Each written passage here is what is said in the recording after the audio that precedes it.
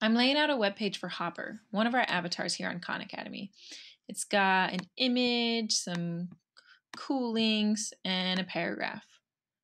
I think that this picture of Hopper would look better next to the paragraph, so I'm going to cut and paste it down here. Hmm, okay, that doesn't look as good as I hoped it would. The text starts at the bottom of the image. I was hoping that the text would wrap around the image, like in newspapers and magazines. We'll need a new CSS property for that, float. It's a way of floating elements in and around other elements, and it's perfect for wrapping text around images. So we go up to our pick rule and say float, and then for the value, we need to decide if we want the picture to float to the left-hand side or the right-hand side. Let's try left. Great. Perfect. Well, okay, not quite perfect, because the text is really close to the image. Do you remember what property we should use to separate the text from the image? It's part of the box model, which we just learned. Margin. Let's add some margin right and margin bottom to this image to give it a little breathing room. Let's see, margin bottom, six pixels. okay, that's that's much better.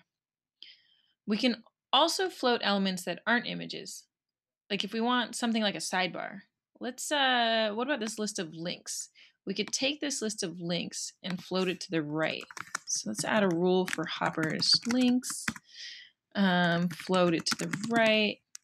Okay, it's floating, but it's taking up a lot of width, more than I was hoping to take up.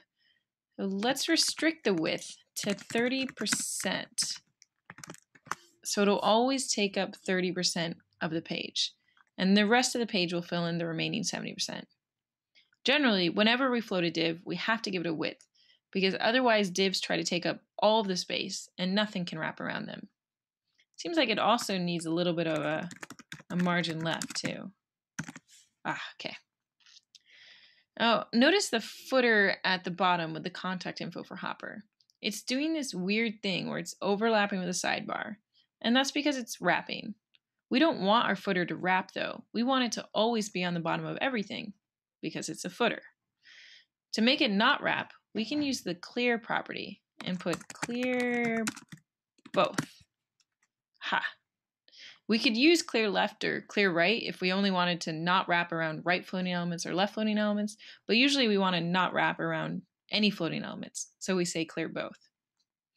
This is starting to look like a, a real web page. We have a main area, a sidebar, a footer.